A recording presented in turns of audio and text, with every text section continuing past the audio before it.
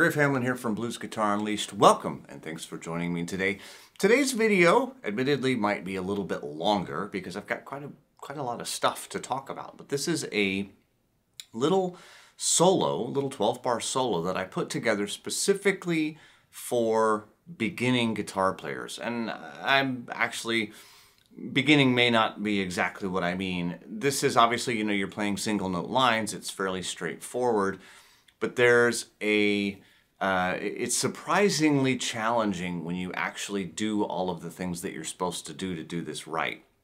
So if you're new to soloing, uh, you know, maybe you can play a couple of songs, you can play a little bit, but you're more of, I'll say, an advanced beginner. This is probably right up your alley. And there's a lot of great skills that will be handled in this. And some things that you probably don't see on the outside, particularly if you're a beginner, there's some things that I'm going to bring to your attention as we kind of walk through this, things that otherwise I'm pretty sure you wouldn't see on your own as, oh, that's an important thing I need to learn. It's in here, all right? So uh, you can probably tell that the bulk of it is based around, not the bulk of it, all of it, is based around the A, uh, the good old A minor uh, box one. So if you're not familiar with this pattern, it's the A minor pentatonic scale.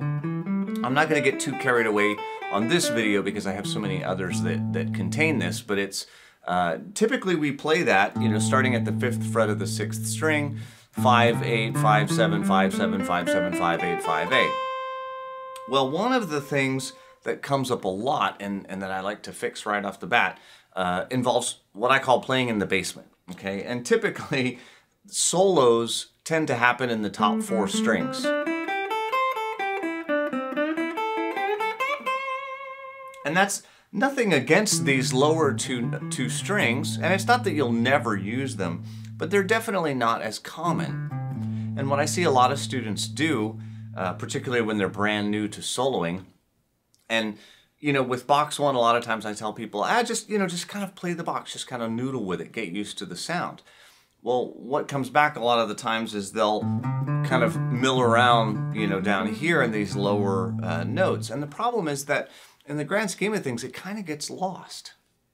You know, as the band's playing, those lower notes don't really cut. They don't really get out above the band. So it's kind of cool to early on at this point, you know, start to get used to the idea that you want to tend to stay more towards the top, okay?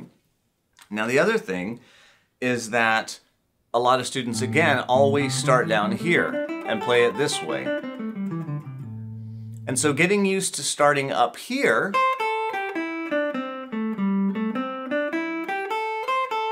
you know, and playing only from the top,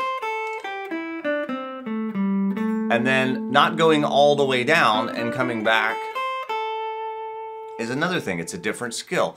So it's getting used to seeing the pattern from the top, not just from the bottom. Again, a lot of people tend to just practice from the bottom to the top and back instead of from the top to the bottom and back, which is another way that you're going to need to see that scale. Now the other thing that's going to go on is you'll notice there's some, some dead air. I start and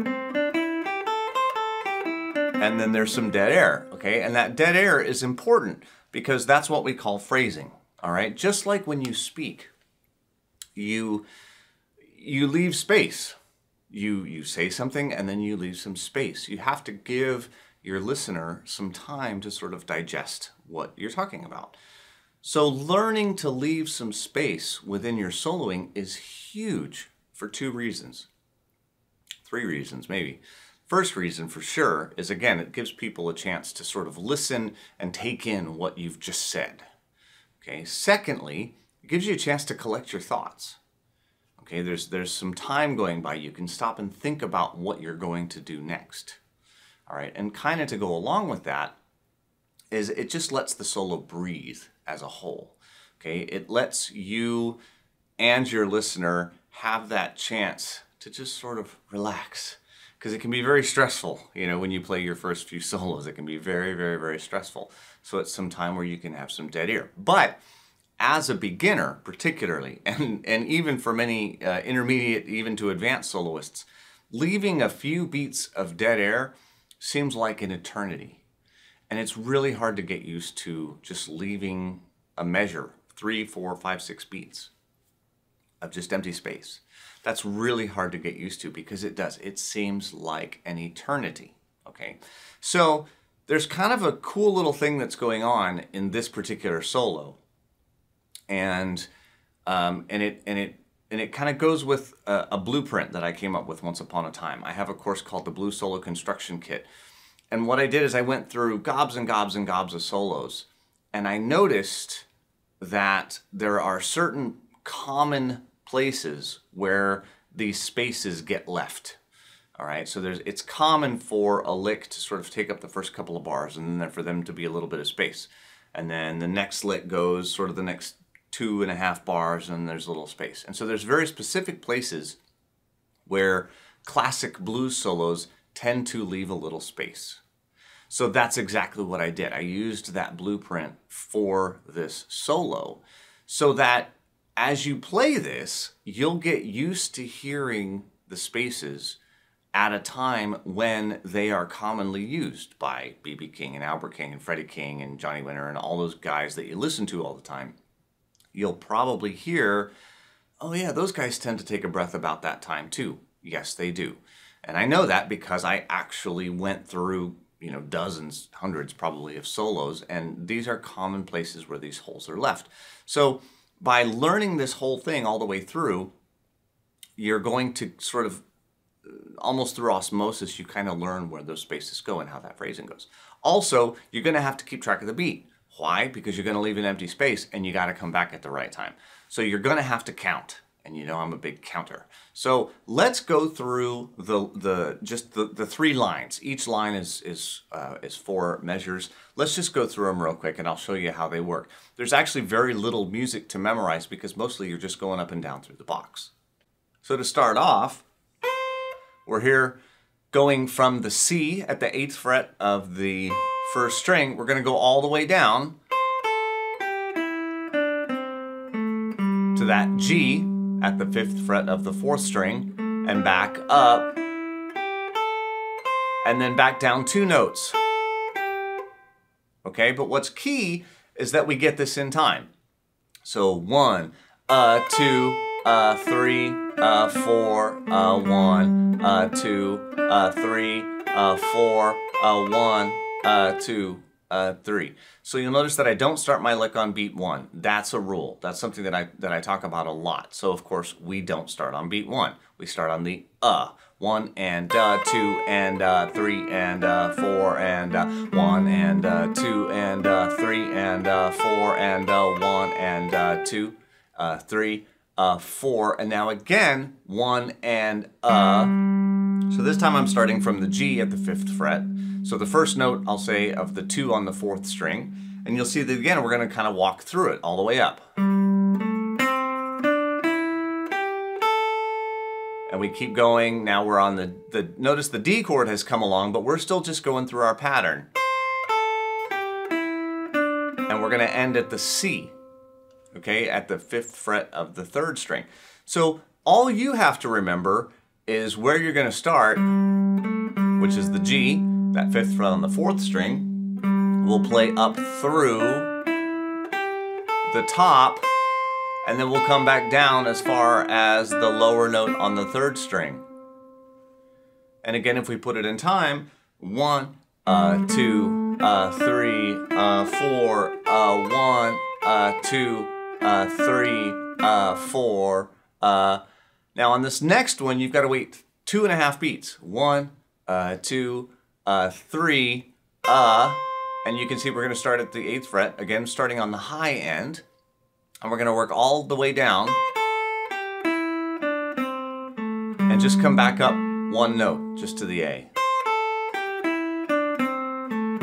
Okay, so hopefully you can see that you don't have to remember a bunch of notes. You just have to remember where you're going to start, play through the pattern until where you're going to end, and then come back as much as you're supposed to. So one, uh, two, uh, three, uh, four, uh, one, uh, two, uh, three, uh, four, uh, one, uh, two, uh, three. We're starting again on the low end.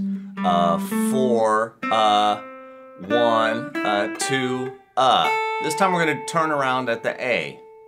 Okay, so I'm not going all the way to the C.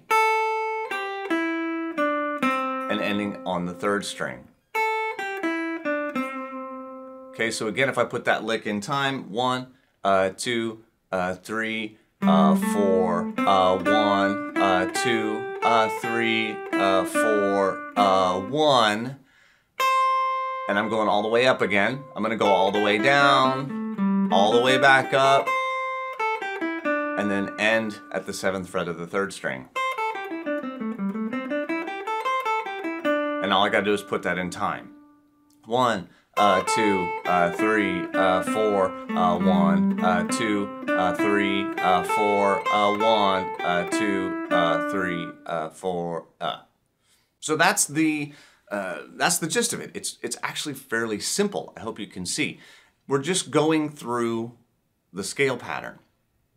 That's an important thing because it gets a lot more challenging when you have to remember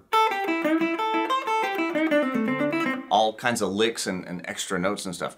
I just want to get you used to counting, playing the pattern from, from the different directions, right? Paying attention to where you are on the beat. All of these other skills that are really, really important. Yeah, licks are cool and you can add those later, but if you don't have these particular skills, your licks probably aren't going to sound very good because they're not going to be at the right time. They're not going to be in the right place. They're not going to be used properly. So if I can get you kind of doing this sort of thing in the right way, it's going to serve you very well. So let me play through this whole thing and I'm just going to count it. I'm not going to play uh, with my little um, looper that I, that I played in, but let me just count it all the way through. I would love you to try this with me. Here we go. Three, four, uh, one, uh, two, uh, three, uh, four, uh, one, uh, two, uh, three, uh, four, uh, one, uh, two, uh, three, uh, four, uh, one, uh, two, uh, three, uh, four, uh, one, uh, two, uh, three, uh, four, uh, one, uh, two, uh, three, uh, four, uh, one, uh, two, uh, three, uh, four, uh, one, uh, two, uh, three, uh, four, uh, one, uh, two, uh, three, uh, four, uh, one, uh, two, uh, three, uh, four, uh, one, uh, two, uh, three, uh, four, uh, one, uh, two, uh, three, uh, four. Uh. Okay, now, of course, if you were so inclined, you could play that over some sort of jam track. Right? You could probably find a slow blues in a jam track. What would be better for you is to record yourself into a looper or whatever playing a blues in A. Which again, I've probably got another video. In fact, I'm sure I have it in another video. So I'm not going to show you how to do it. But play a blues in A for yourself, okay? This way you're getting used to playing the rhythm as well. If you ever find mm-hmm. yourself playing with just one other person, this is an excellent skill to have because you have to be able to play both the rhythm and then when it's your turn, take a lead. And when it's their turn, you hold down the rhythm. So you need to be able to hold down the rhythm. so hopefully I'm making that point clear as I'm demonstrating the blues in A. Right? Good. Okay, so of course I've already done that. I've put it into my looper. I played it on the way in, but let me play it one more time for you. Hope you enjoyed the lesson. Hope you will practice this. This is good for you. It may not be super sexy. It may not be super flashy or exciting, but this is really good for you, and I hope you'll do it. All right, here we go. Let's play it down. I will see you again real soon. Take care.